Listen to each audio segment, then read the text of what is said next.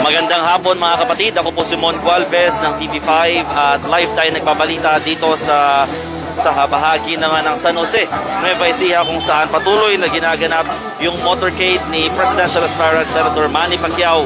Ipakita ko lang sa inyo mga kapatid ha, ang kanyang motorcade sa mga oras na ito.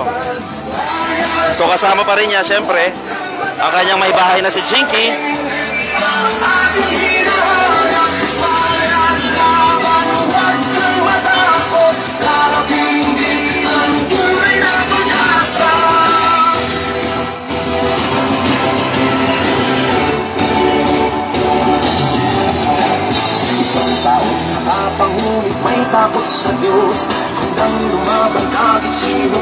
So marami pa rin mga nagpapapicture, maraming mga talagang nais siyang malapitan.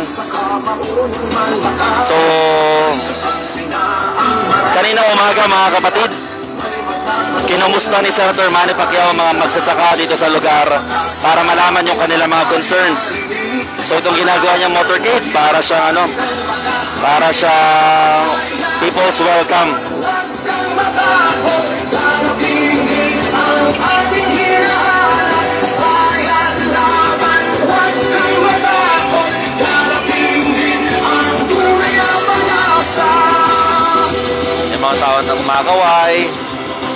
Nakaabang sa kanya, sa kanyang pagdaan.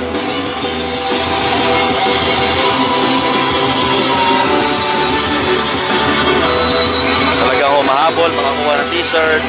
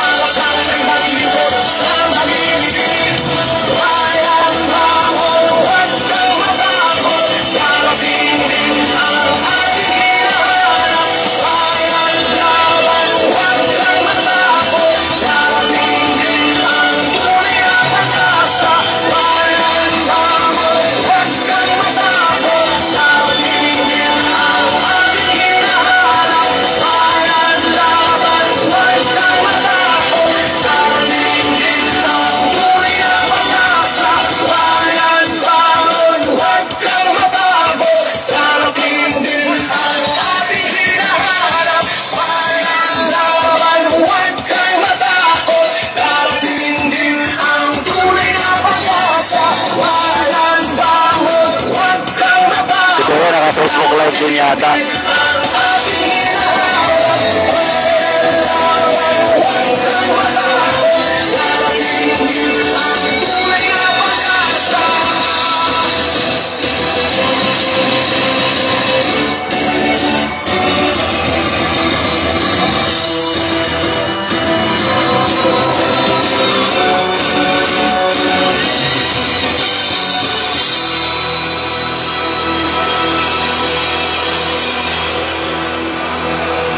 Lahat talaga, kanya-kanya labas sa mga cellphones para makakuha ng picture kay Senator Manny Pacquiao. Ang ilan lumalapit para makamayan siya.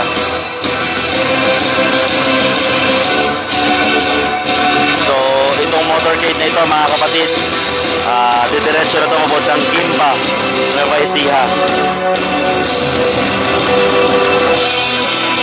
So kanina, nagsagawa sila ng maikling dialogue sa sa barangay Santo Tomas doon naman sa Muñoz, Nueva Ecija. Isang taong may puso at handa kang ipaglaban Ang tanging nais lang ilahong ka sa Si kahirapan Kuya, tibay oh. Naka-Facebook live kaya ito. Ang katuwiran Ang mahalaga makita ang katotohanan Di bali nang mababa ang kanyang pinag-aralan Di bali nang mahirap ang kanyang pinagmulan Di bali nang naitin at tulugin ang kalaban Basta para sa bayan handa lagi siyang lumaban Bayan, bangon, huwag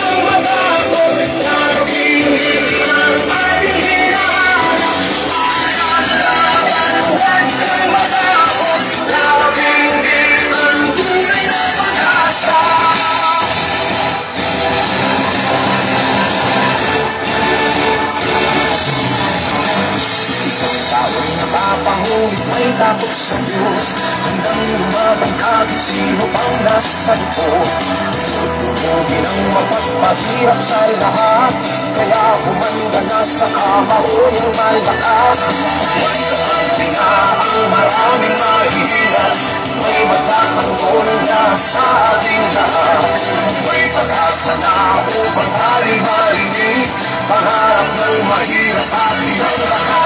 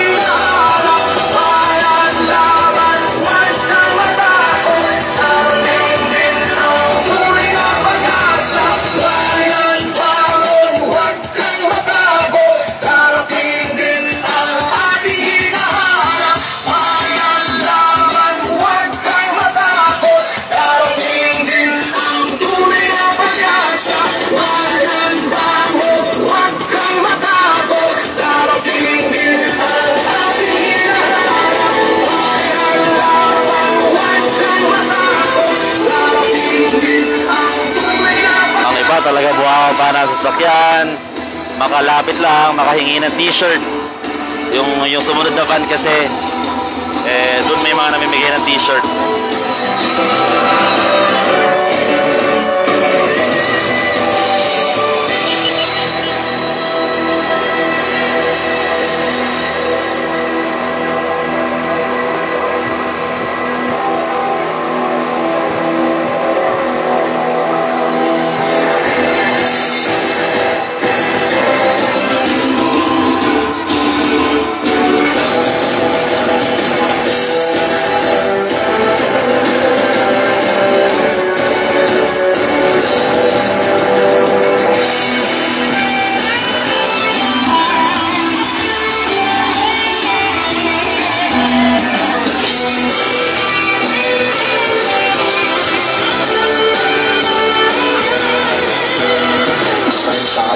Puso at handa kang ipaglaban.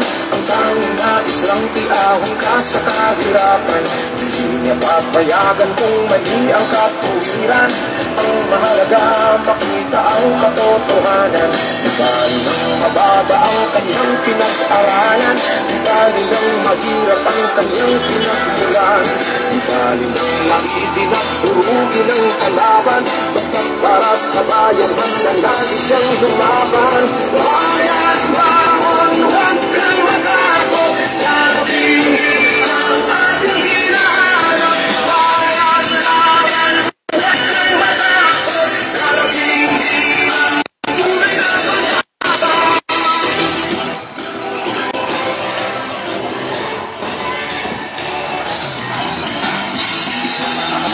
Patuloy, patuloy yung ginagawang motorcade ni Senator Manny Pacquiao dito sa bahagi nga ng San Jose, sa Nueva Ecija.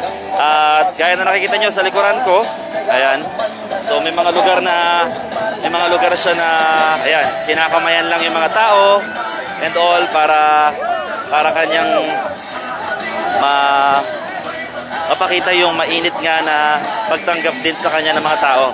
So, dinalintana, kahit na may pandemya pa, ah, talagang hindi niya maiwasan doon na payagan na makipagkamay sa mga residente dito sa nadadaanan niya sa motorcade. So, ito pa after dito sa San Jose eh siya ay papunta naman ng Gimba dito sa Nueva Ecija pa rin at kasama pa rin niya ang kanyang may bahay na si Jinky bagamat wala pa yung kanyang vice presidential candidate asahan doon na baka after 2 weeks eh makaka-attend na rin itong kanyang VP candidate na si ah, Congressman Dito Atienza So, pansamantala mga kapatid, tatapusin ko naman itong FB Live. Pero wag po sana kayong maka, makalimot na tutukan po yung iba pang mga updates sa News 5 uh, programs, 1PH at saka sa 1 News, no? So, yan, digilid lang tayo. So muli, ako po si Mon Gualvez, nagabalita mula dito sa San Jose Nueva Ecija. Magandang hapon mga kapatid.